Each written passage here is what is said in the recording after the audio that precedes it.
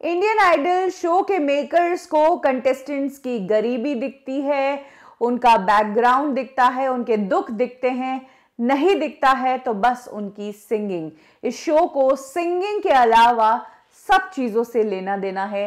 ये कहना है पहले इंडियन आइडल अभिजीत सावंत का। अभिजीत सावंत जो शो के पहले सीज़न के विनर थे, उनका गाना मोहब्बतें लुटाऊँगा।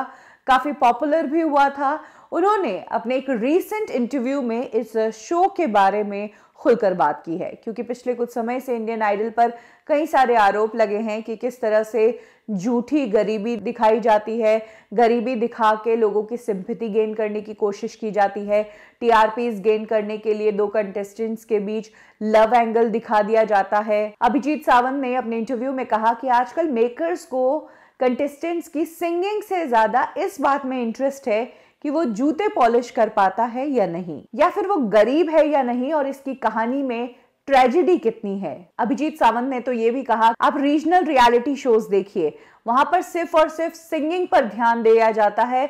मेकर्स को शायद ही पता होगा कि इस कंटेस्टेंट का बैकग्राउंड क्या है। रीजनल वाले सिर्फ़ सिंगिंग पर ध्यान देते हैं, जबकि यहाँ हिंदी शोज़ वाले जो हैं वो सिर्फ़ इनकी बैकग्राउंड की कहानियों को भुनाते हैं। साथ ही उन्होंने ये भी कहा कि ये कंटेस्टेंट पर डिपेंड करता है कि वो अपनी पर्सनल चीज़ों को शेयर करने के लिए कितना तैयार है। अभिजीत सावंत ने अपना ही एक एग्ज़ाम्पल देते हुए कहा कि मेरे टाइम में एक बार ऐसा हुआ था, जब मैं गाना गा रहा था तो मैं लिरिक्स भूल गया था। तो उस टाइम मेकर्स ने डिसाइड किया था कि मुझे रखना चाहिए या मुझे जाने देना चाहिए। तब मेकर्स ने मुझे रखा था। आज की डेट में अगर ऐसा कुछ हो जाता तो शायद इस सीन को बहुत खींचा जाता। इस पर ट्रेलर और प्रोमोस को प्रमोट किया जाता। और एपिसोड आने तक तो इसकी इतनी हाइप बना दी जाती कि ये एक बहुत बड़ा मामला बन जाता। ऐसे में अभिजीत सावंत का कहना है कि ऑडियंस भी उतनी ही जिम्मेदार है। हमारे हिंदी ऑडियंस को हर समय मसाला चाहिए होता है, इसीलिए मेकर्स के ऊपर भी प्रेशर रहता है मसाला परोसने का। अभिजीत सावंत की जहाँ तक बात करें तो वो पहले इंडियन आइडल थे, लेकिन आज भी उन्हें स्ट्रगल करना पड़ रहा है। उनका कहना है कि आखिरी बार डिशुम फ़िल्म में उन्हें गाना गाने का मौका मिला था।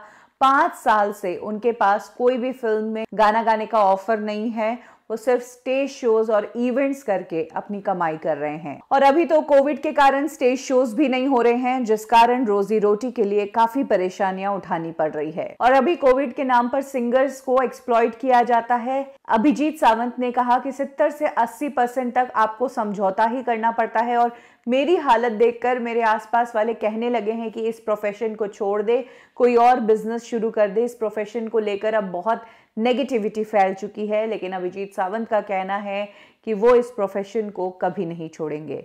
तो ये हाल बताया है फ़र्स्ट इंडियन आइडल का। इस ताज को जीतने के बावजूद आज इतने साल हो गए हैं, फिर भी उन्हें इंडस्ट्री में सॉन्ग्स के लिए स्ट्रगल करना पड़ रहा है। तो ये शोज़ किस बात का ढिंडोरा पीटते हैं कि हमारे शो से निकला हुआ जो कंटेस्टेंट है, वो आगे जाकर बहुत बड़ा सेलिब्रिटी बनेगा। ऑलरेडी जो शो के कंटेस्टेंट्स हैं वो स्टेज पर परफॉर्म करते हैं, ऐसे वीडियोस पहले से ही वायरल हुए हैं। और साथ ही ये कंटेस्टेंट्स दूसरे कई रियलिटी शोज़ का हिस्सा लेकर इंडियन आइडल के मंच पर आए हैं। तो आप क्या नए टैलेंट को दुनिया के सामने ला रहे हैं, ये एक बहुत बड़ा सवाल है।